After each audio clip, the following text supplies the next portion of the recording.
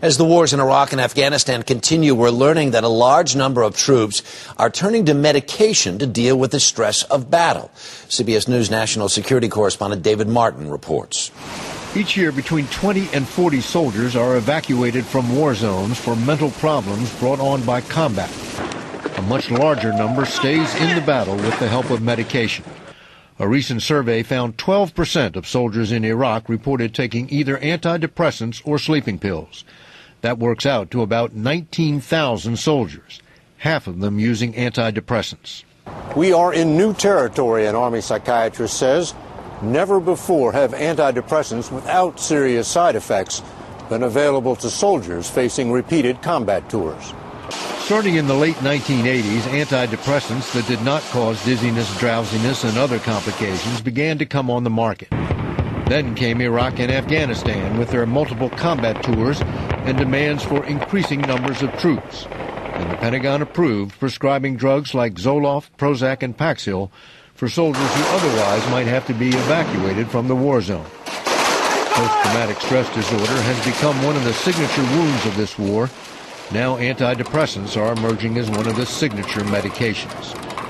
David Martin, CBS News, The Pentagon.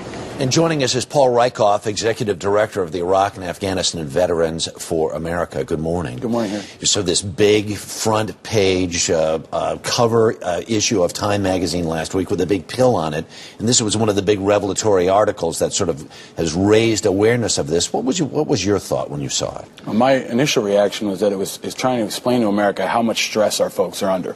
Uh, this high rate of, of the use of antidepressants and sleeping pills is really just a symptom of a deeper problem. We're sending folks back over and over again in a tremendously stressful environment, and it's taking its toll. And, and the antidepressants and sleeping pills are one way that the military and the individuals are trying to meet that threat.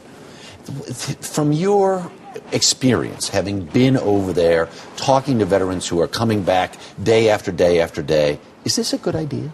You know, there's a lot of debate about that right now. I think what we need to look at is, is how to reduce the overall stress. And that starts with reducing the deployments. They only get about a year home mm-hmm. uh, for, for if that. Arm, if that, right? Doing a 12 to 16 month tour. Right. Uh, we know that about half a million folks have been to Iraq more than once. Mm-hmm. Uh, so they're going back over and over again. And that's why we're seeing the suicide rate in the Army. Right. 115 folks in the Army committed suicide last yeah. year. That's the highest rate since 1980. Mm-hmm. So we've got to look at those other factors that are causing the stress, right. in addition to the violence, in addition to the family stress, and all that other stuff that piles up on yeah. the troops. Because the other thing we know is the, the chances of PTSD are probably what somewhere about nine, eight or nine percent on a first tour. Right. But it basically doubles on a second, right. triples on a third, right. quadruples on a fourth tour. Some of these people have been over there two, three, four times. Yeah. This is, sounds like a, a, a, very bad recipe to me. it, it is. It's simple supply and demand. We continue to increase uh, the demand on our troops, but we haven't increased the overall number of troops dramatically. Mm-hmm. There was an Army Ranger who was recently killed on his eighth tour. Eighth. So folks coming home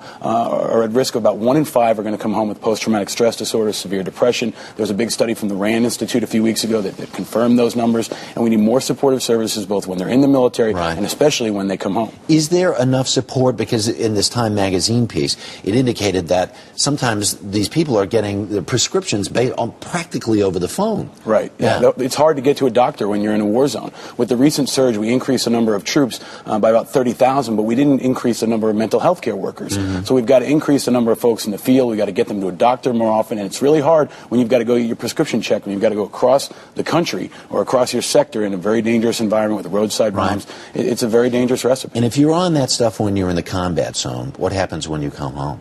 No, that, that's a good question. I mean, they've got to have follow up. The VA has a very long wait time right now. Hundreds of thousands of claims are backed up. The average wait time is about 183 days to process a claim. So we've got to do a better job at the VA when they come home as well, because that's when most folks are going to show that they have a mental health problem and actually seek out treatment. Is this a gross overstatement? But are Prozac and Zoloft, the marijuana, what marijuana was to Vietnam, are the are these things too? I don't know if it's the same. I think it's definitely a band aid solution. Uh, we're continuing to send folks over and over again. This is one way for the Army to keep people in the fight. We know that recruiting numbers are stressed, mm-hmm. retention numbers are stressed, and this is one way for the Department of Defense and the Pentagon to keep people on the front lines. But there is a long-term cost for the military and for the individuals. Yeah, yeah, and a, a cost that uh, it seems like the country is not really aware of and re- ready to pay yet.